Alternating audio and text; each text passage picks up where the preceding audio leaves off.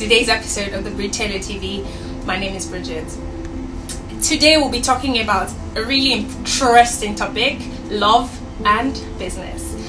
Joining me is Emmanuel Awalale. Hi, Emmanuel. Hi, thank you for having me. Thank you. Emmanuel has been into business a couple of times and is currently working on some Stuff. on something.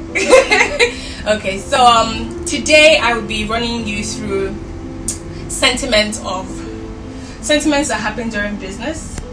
Yeah. Okay, so first, love.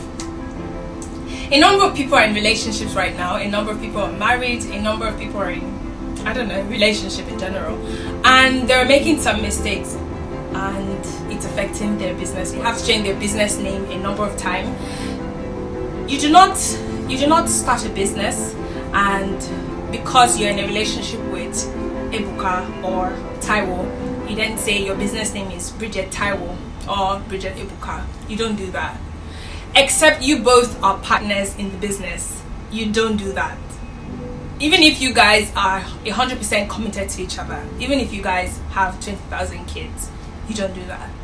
You don't you don't you don't have a business name with your with your lover's business name. You don't do that. So yeah. something else is you have a friend. You are um, you guys are really close. You you're like besties or you're I don't know what kind of relationship you guys have. You guys are not married. You guys are both female. You guys are both male. Except you guys are going into a form of partnership. Except it's a partnership. You do not name the business after both your names. It doesn't work that way. It doesn't happen that that it's a sentiment that should be debunked. So yeah. So, a lot of people, especially inexperienced entrepreneurs, think that growth is linear. Just think, oh, it's going to go from step one to step two to step three, That never happens. and it hardly ever happens. You know, never really, most times, unless you're really fortunate. So, a lot of people think they're going to have a lot of customers. Like, oh, I've done my forecast. I'm going to have like a million customers in like six months. I'm going to be the next Mark Zuckerberg. Unfortunately, that's really, really far from the truth. So an assumption and like an idea of the market. Sure. I was talking to you before we started recording. I was saying if it was left to me, there's some designs that won't be in this store. There's some colors that won't be in this store because it will be about me and I don't wear those kind of things and I don't like those kind of colors. But I know that I'm running the business for a whole lot of other people, so I have to make sure that the colors are the colors work with everyone's um works with everyone's preference. Uh, the designs are what everyone else wants and not just me. So I think a lot of people need to take themselves away from the business, like reduce how much sentiments they have about what they think, or like you you were saying before, luxury. Someone thinks, oh, I'm a luxurious person, and I just assume that should start a luxurious brand. It doesn't always work that way. You need to intentionally do a survey and research on your market. So if if you're trying to start a business and you're like a lot into luxury, you should not assume that everyone else just automatically would like a luxurious brand. Do your research, know who your audiences are, and you flow from there. In my own experience, a lot of people are very subjective when it comes to business. You fall in love with the idea. It's like a mother having an ugly child. They would never ever say that child is ugly, even though society agrees. even though society believes so, based on societal standards of beauty. So I guess that uh, more entrepreneurs need to be uh, objective about the market and not just believe because it would work that it's a good idea. Most of the time, I see entrepreneurs make wrong assumptions about the market because of their love affair with their business idea out there. Yes, I would like to speak about the environmental factors that people often get wrong. Uh, a lot of the time, people have the cognitive bias based on their prior experiences in life, and uh, they just think, oh, the environment might be enabling for their business to thrive. Often, uh, more times than not, they are wrong.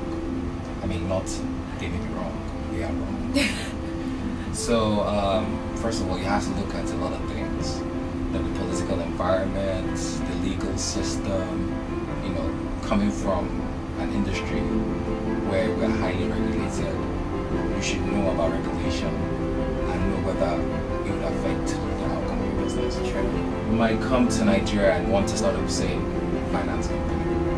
And unfortunately, you cannot because the environment will not let you based on your concept and idea. And lastly, money making.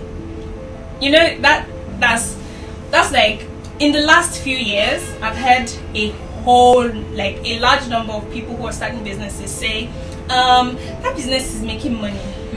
oh, can I make money from that business? Uh, like if that is your sentiment, trust me, there's no need. Don't bother. Like no, there's there's no money there. like forget about it. Like because of course we all want to make money. I believe we all make money. I think I want to make we all want to make money.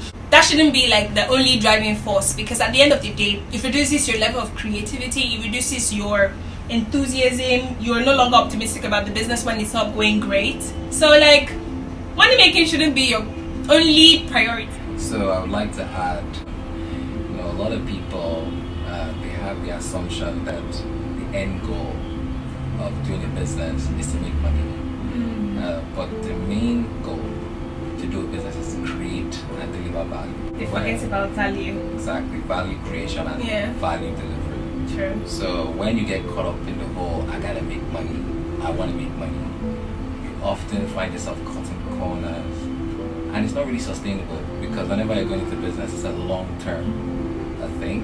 Just imagine think of money as okay, just the byproduct Yeah, of it. delivering service. Yeah. So rather than Good service. Good service, yes. Yeah. Rather than thinking about what you can get, think about what you can give. Hmm. Good. Running a business, you you really need to be deliberate about running your businesses. I've said we, we've talked on like too many topics like over the month.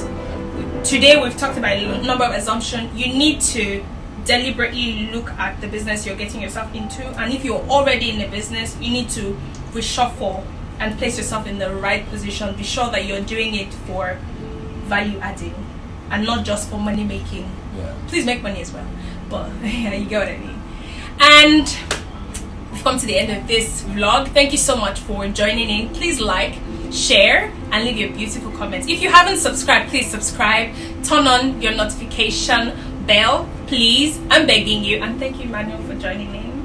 My pleasure. Lots of love.